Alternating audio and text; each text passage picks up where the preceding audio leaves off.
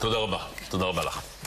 אה, אנחנו אה, בעקבות חשש כי הטיפול בפרשת מכל האמוניה, הטיפול הזה היה נגוע בפלילים. מבקר המדינה העביר ליועץ המשפטי לממשלה מידע שממנו עולים חששות למעשים פליליים בטיפול המדינה בקידום פתרונות אה, לאספקת אמוניה למשק. לפי המידע, גורמים שונים ניסו להיטיב עם חברת כימיקלים, חיפה כימיקלים, ואנחנו רוצים לומר שלום לניצב בדימוס עמיחי שי, שהוא יועץ למבקר המדינה לתפקידים מיוחדים. עמיחי שומע אותנו?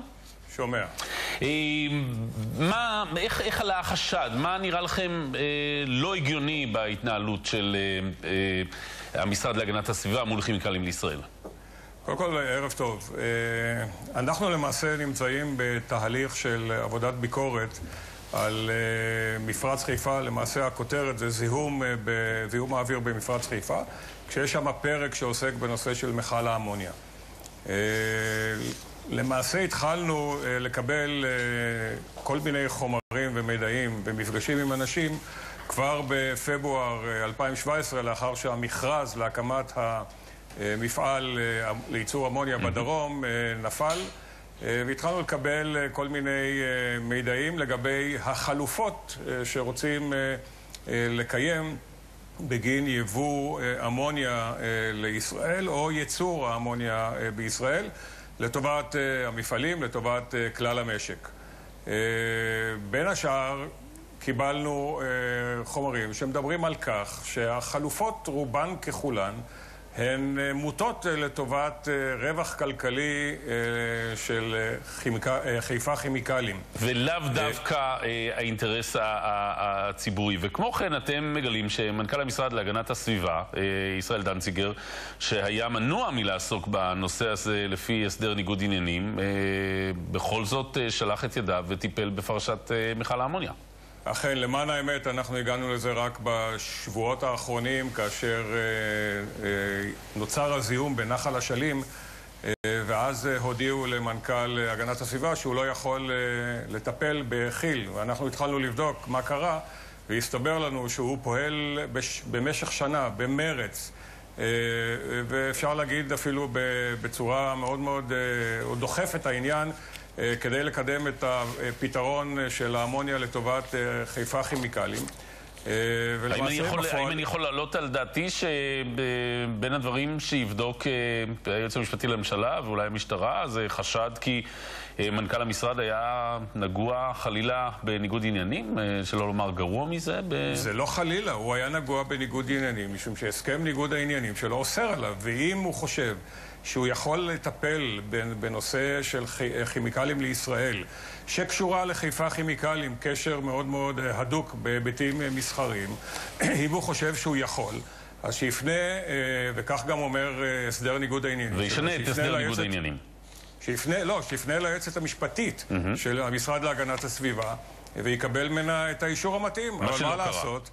מה, לא רק שזה לא קרה, היא הוזזה הצידה. מנהל אה, מחוז חיפה אה, של המשרד להגנת הסביבה, מר שלמה כץ, הוזז הצידה. למעשה כל שומרי הסף שאמורים היו לתת, אה, את, להביע את דעתם, את עמדתם, אתה לא חייב לקבל, אבל מדוע מזיזים אותם? כי הם לא באותה עמדה ולא באותה דעה שלך. לכן הדברים האלה לפחות... חשד לשוחד חלילה? אני לא יודע אם זה מגיע לשוחד מבחינתנו, אנחנו מדברים על חשש למעשה פלילי על פי חוק mm-hmm. מבקר המדינה, כאשר מדובר למעשה בחשש שזו רמת הוודאות הנמוכה, הראשונית לפחות, שמעלה אה, אה, חשדות.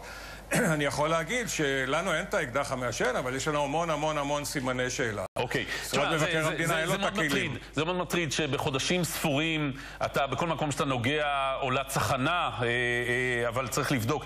אחד הדברים הבאמת מוזרים, לאורך השנים התגלגל לו נתון שמדינת ישראל צריכה 3,000 טון אמוניה כמלאי חירום לצורכי נש, אה, משק, צורכי המשק, וזה נתון שעליו התבססה המל"ל והתבססו כל הגופים הממשלתיים, ופתאום התברר לכם שזה בכלל נתון ש, שחיפה כימיקלים היא זו שהמציאה אותו, מכיוון שאלה הכמויות שדרושות לה לעסקים שלה, ולא, בלי קשר למלאי החירום של המשק? טוב, קודם כל אני רוצה להגיד שאני שומע אותך חלש, אבל אני שמעתי אה, מספיק אה, כדי לתת תשובה. Okay. אוקיי. מתוך 100 אחוזים, תרשה לי רגע, מתוך 100 אחוזים של אה, האמוניה שהמשק אה, מייבא, אה, מדובר בכ-97,